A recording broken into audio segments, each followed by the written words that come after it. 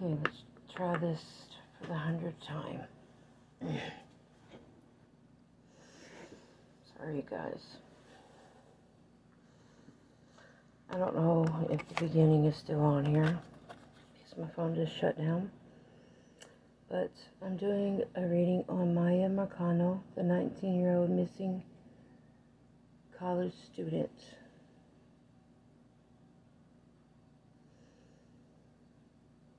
And the first card that flew out was the Devil card. This is her telling us that she was feeling trapped in an unhealthy relationship and she wanted out because she didn't want to be tied down. She wanted to go to school. The Three of Pentacles talks about mastering a craft or skill or being successful at a skill. Miya wanted to go to go to school. She wanted to master her craft. I don't know why I got the um, feeling that Miya wanted to. She was in nursing school. I don't know why I feel that. Then I got the Tower card. This is talking about unexpected events and changes.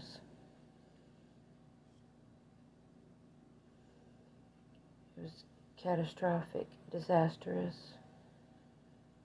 It just the energy that day was just negative. This person is anyway.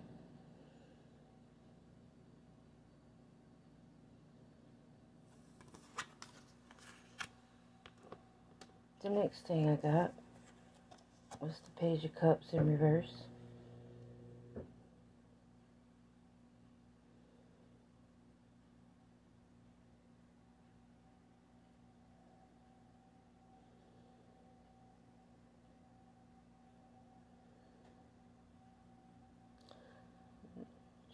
This person was bad news. Now, if this person was in the upright position, this would mean that somebody's bringing good news. It's the barrier of good news. But since it's reversed, this person is lazy. They don't like to get nothing done. They're hostile. And they're always got something going on. They're always doing something.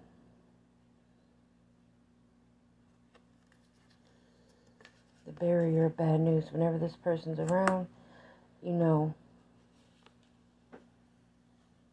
that it's going to be something bad.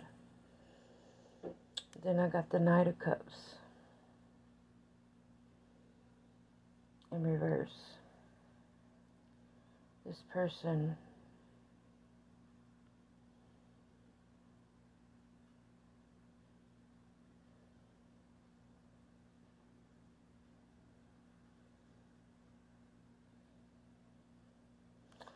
This person is not romantic at all.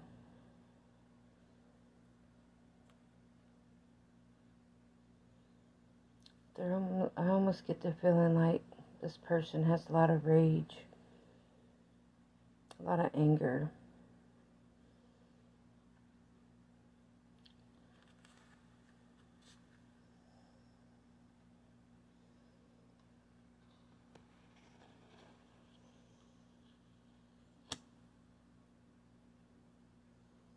Don't know how to accept.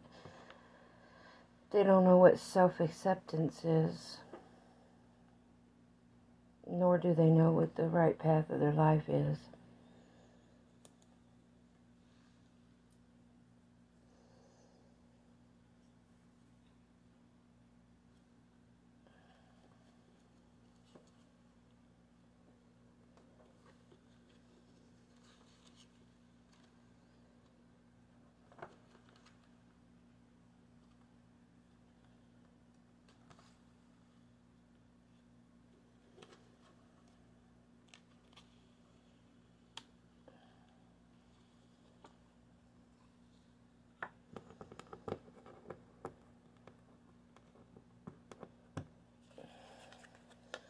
I got the Seven of Swords in the reverse.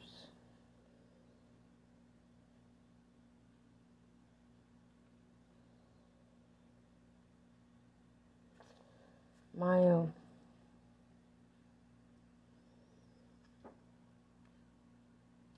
But then and this card's in the upright position. It talks about a failure, a liar, cheater, and a thief. But with it being in reverse, I know this is Miya's energy on this one. Because this card right here, with it being in reverse, it's talking about bringing positivity and uplifting someone, being encouraging. She wanted to live up to her full potential in her fu- for her future.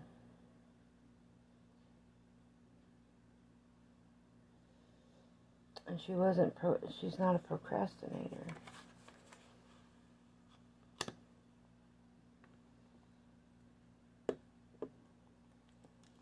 Or it could also mean too in this reading that this person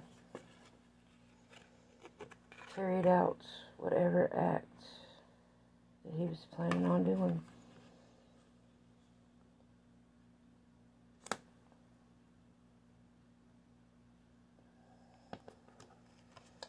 Then we got the death card.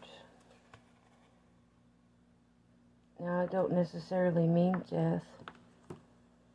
It's just, it means a completion of a cycle. A dramatic change. In order to have a new beginning. It also results in loss, failure, destruction. This is a dark card.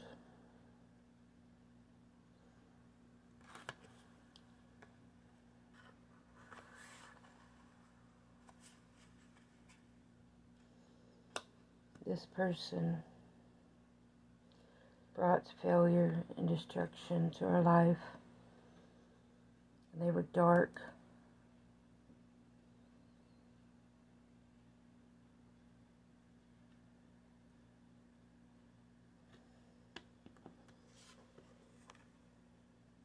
I got the hermits.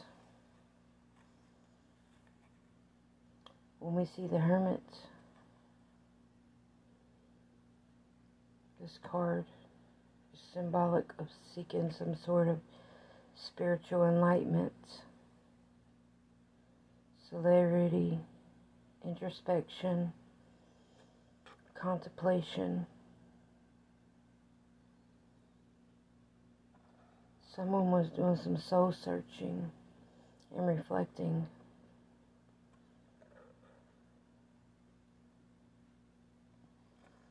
They were trying to contemplate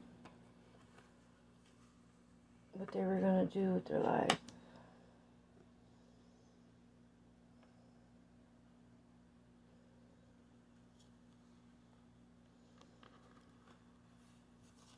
I got the chariot. The chariot talks about a journey.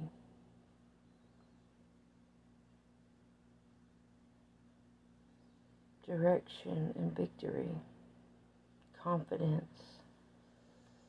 This person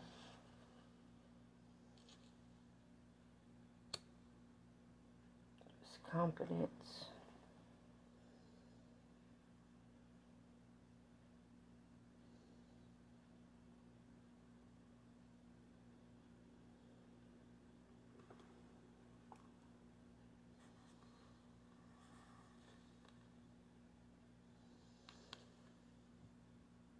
I got the hangman.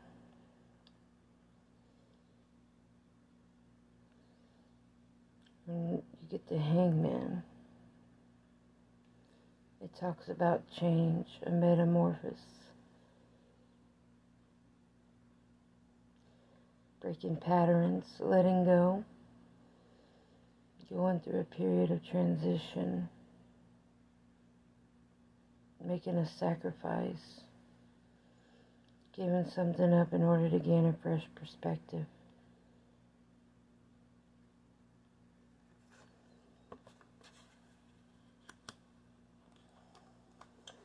A lot of Pisces energy on the board.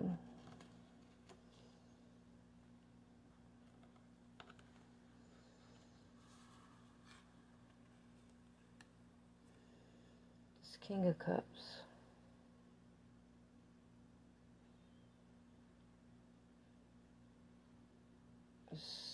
An authoritative man. He has a lot of intuition, spiritual knowledge. This person is compassionate, warm, and has a gentle voice of reason.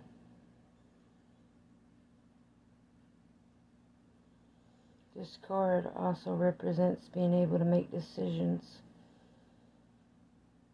by channeling experiences and being able to give helpful advice.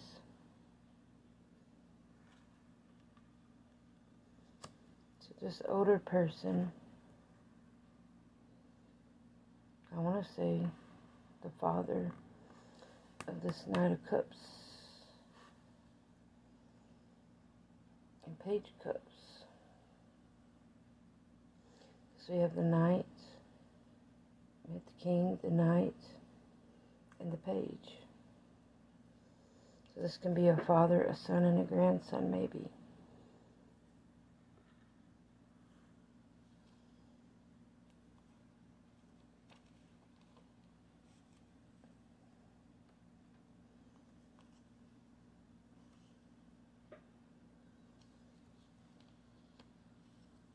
Feeling chills on my leg. This is one of my favorite cards, the Empress. This is someone who's motherly, nurturing, loving, can solve problems.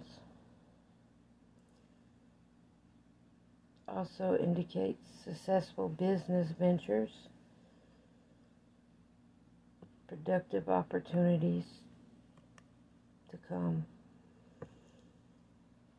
She also talks about moving forward to fulfill your full potential. This also can talk about a pregnancy. I don't know if Miya was pregnant. I'm feeling like she was.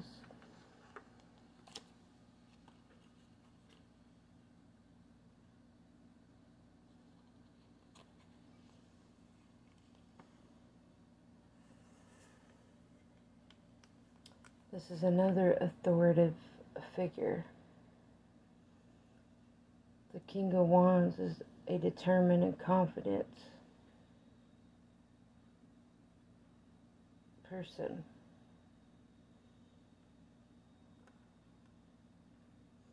When you see him, he represents expansion, establishment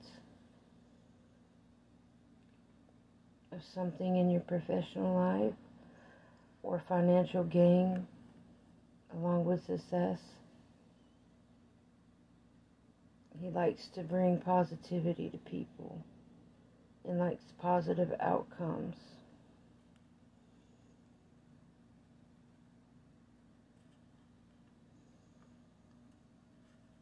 I don't know why I feel like a cop is involved.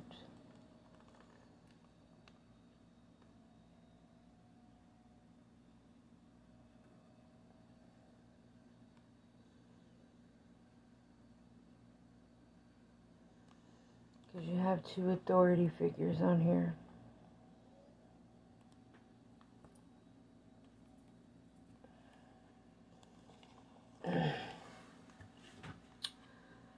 Mm, Let's get some clarity on this King of Wands.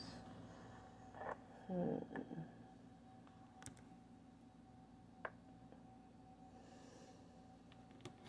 I'm being guided to the Gilded Reverie.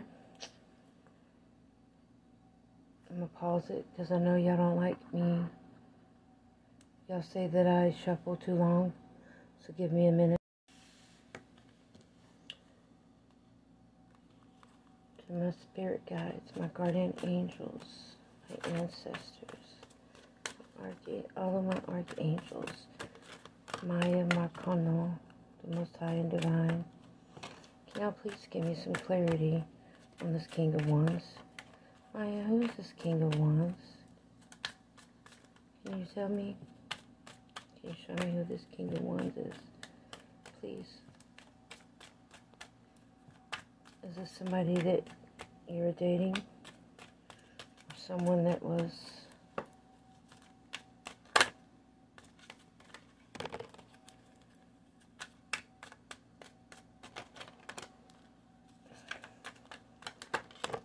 love with you in one of these things?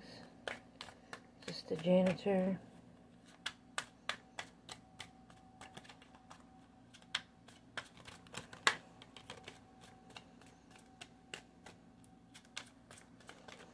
Is there anything else you want to tell us about this King of Wands?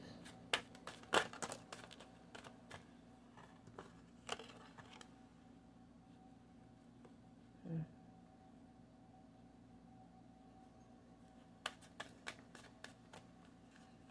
Anything else?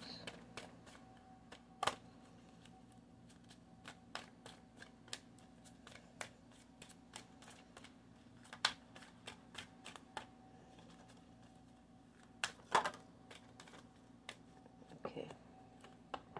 Let's see what we got.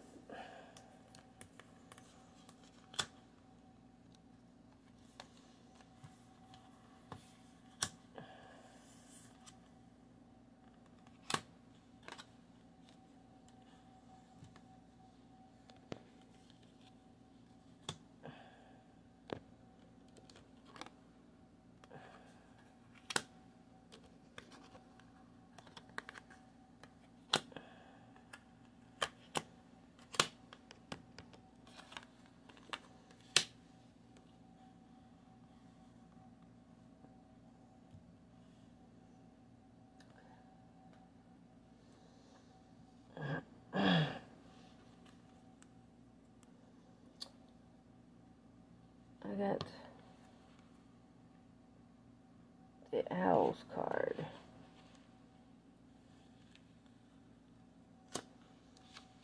Let's see what the owls mean. Hmm.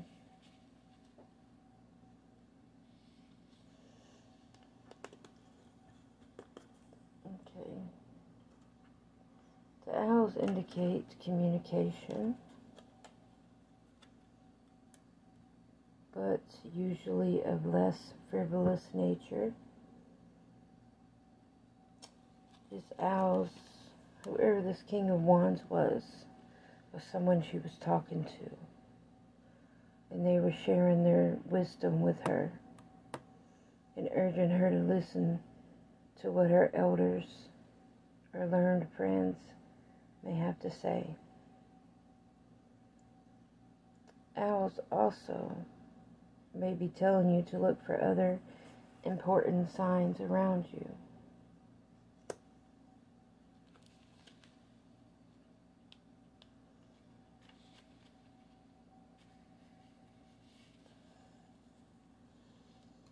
The next one we have is the dog card.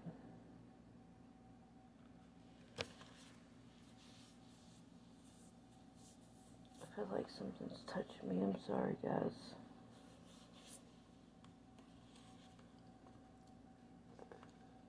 And we know dogs are all about loyalty and friendship. And protection, trust, support, and reliance.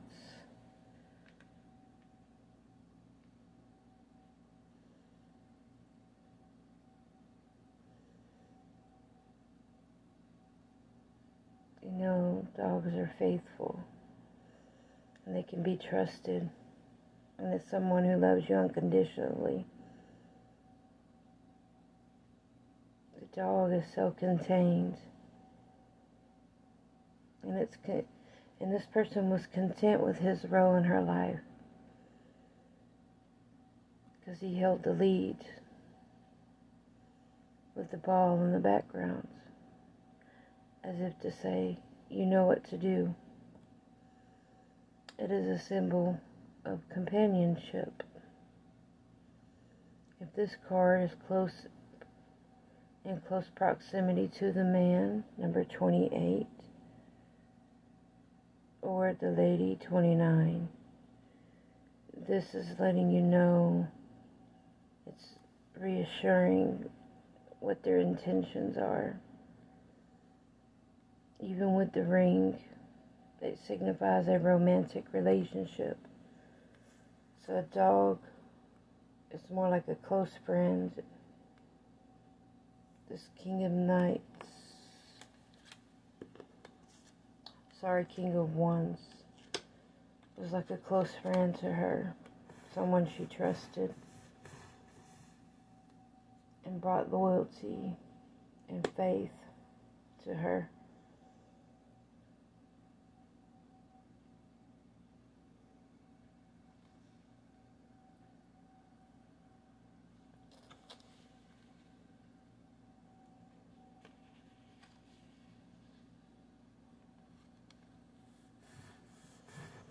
Sorry, I'm telling you, I the like someone's touching me on my arm.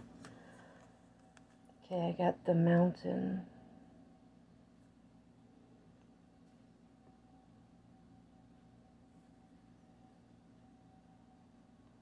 See something.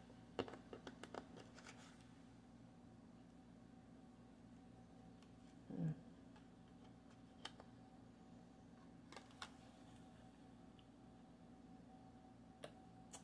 Now, the mountain talks about obstacles and challenges that are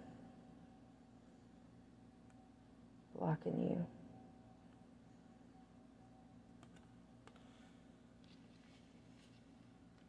And if you don't pay attention and aware, this can indicate an enemy. The reason why she was they were just close friends is because she had a lot of obstacles. They had a lot of obstacles in their way with this person on this, that I'm fixing to get clarification on next.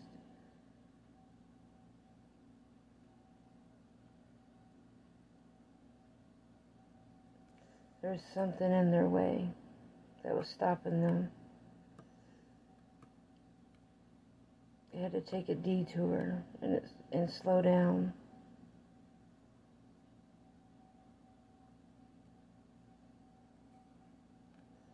If it's combined with other cards,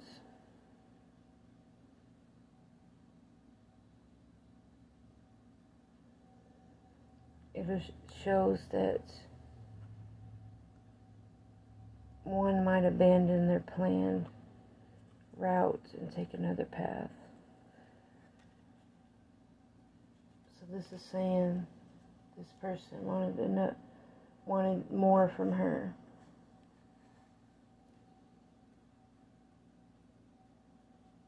There was just too many things that was in the way of them doing that. The key. This talks about discoveries and synchronicities and signs and fate.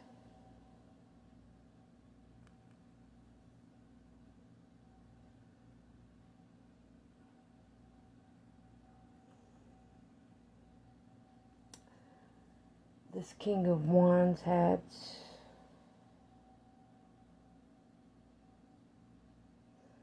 answers to what was troubling her.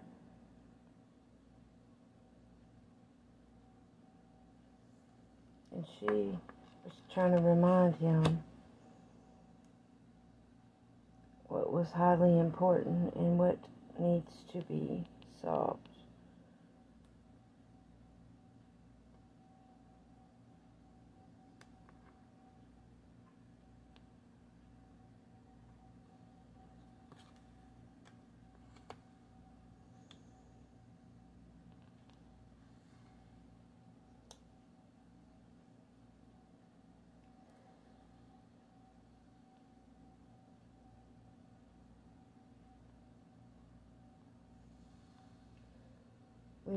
The key card can unlock and secure. And it depends on which way it is turned.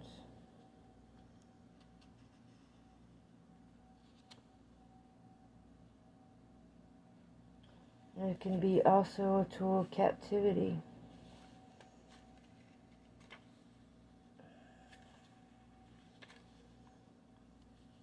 Did you see the bird cage behind it with the rose in it? Talking about being in a prison.